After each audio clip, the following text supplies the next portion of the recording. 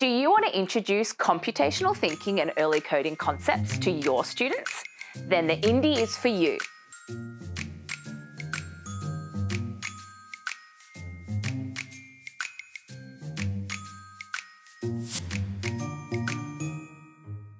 What makes Indi so special is that it enables screenless coding.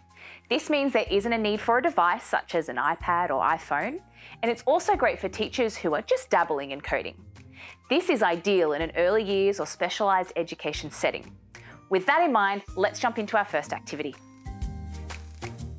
I would start by having the class or group of students around me on the floor. You want to model this to avoid incidents of it falling from desks or tables once the students explore independently. You also want to make sure you have enough room for Indi to run about one metre in length ahead of you, as this is how far it will go once placed on the green tile.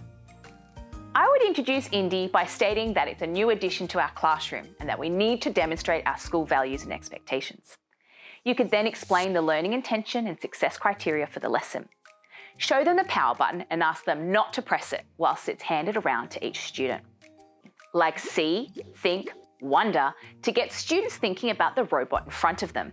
It's also a great opportunity to weave in other syllabus outcomes, making sure to point out any features, using the correct terminology that may not have been brought up by the group during this observation. You could even add to a word wall to collate these words and further develop your students' vocabulary. I would then introduce my students to the coloured tiles and ask them to think about what the purpose of the coloured tiles might be. Depending on the suggestions, I might use the think aloud strategy to demonstrate critical and creative thinking. I would then put the students in pairs or triads to test the green tile and experiment with what happens if you face Indi a different way, if Indi runs into an object, or if you pick up Indi mid-run. We would then discuss this as a class, determining best practice when using Indi. Then I would ask what they think the other coloured tiles might do.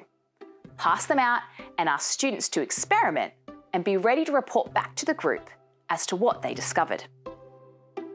I really like to encourage students to learn by exploring, and this might be similar for you, especially if you are in a play-based learning setting and being guided by the early years learning framework. This is often when you start to discover which students might already demonstrate an aptitude for coding or working scientifically.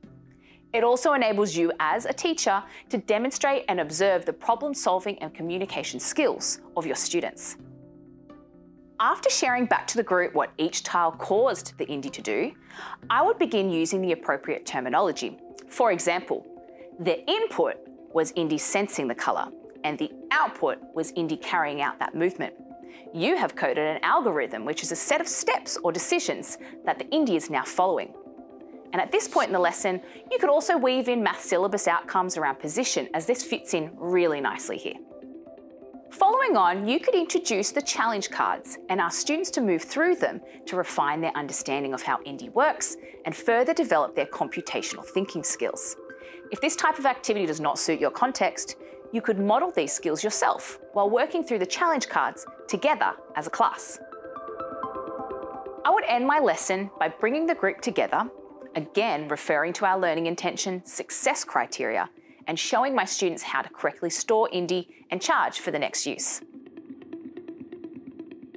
Some things to consider with your first lesson with Indi is the group roles and responsibilities. I would also be mindful of coloured carpets and rugs, as Indi may sense these whilst on the go. For support and ideas, take a look at the Indi Educator Guidebook included in your kit. I hope your first Indi lesson is as engaging as possible and enables all learners to begin their coding journeys. Don't forget to share any of your successes and questions with our STEM.T4L Facebook and Yammer communities.